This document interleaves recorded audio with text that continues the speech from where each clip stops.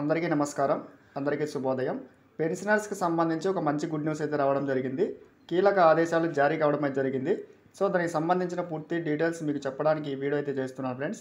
So video skip చేయకుండా పూర్తిగా చూడండి. అప్పుడే నేను చెప్పే సమాచారం అర్థమవుతుంది. మన ఛానల్ని ఫస్ట్ టైం చూస్తుంటే ఖచ్చితంగా సబ్స్క్రైబ్ చేసుకోండి. అప్పుడే ఇటువంటి ఇంపార్టెంట్ అప్డేట్స్ ఎప్పటికప్పుడు పొందే అవకాశం అయితే ఉంటుంది. అలాగే వీడియో నచ్చితే ప్రతి ఒక్కరూ లైక్ చేయండి.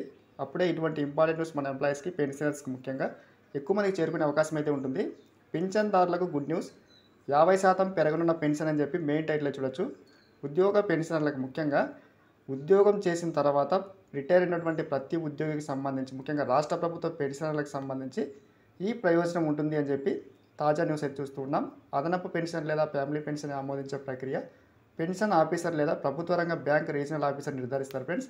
అదే సమయంలో పెన్షన్ లేదా ఫ్యామిలీ పెన్షన్ మొత్తాన్ని చెల్లించే ఆదేశాలకు సంబంధించి కూడా మనకి నిర్ణయం తీసుకోవడమే జరిగింది. సో ఇక పాత పెన్షన్ పథకం ప్రయోజనం గురించి పరిశీలిస్తే చివరిసారిగా డ్రా చేసుకున్న జీతం ఆధారంగా ఉంటుంది.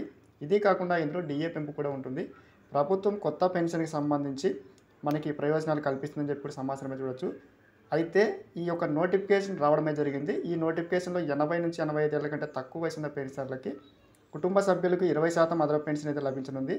మరోవైపు ఎనభై ఐదు తొంభై ఏళ్ళ వయసున్న పెన్షన్స్కి సంబంధించి కూడా ప్రయోజనం అయితే చేకూరుతుందని చెప్పి సమాచారమే చూస్తున్నాం ఇక తొంభై నుంచి తొంభై ఐదేళ్ళు ఉన్న పెన్షనర్లు కుటుంబ సభ్యుల pension revised revised basic pension లేదా ఫ్యామిలీ పెన్షన్ నలభై శాతం అధికంగా లభిస్తుంది.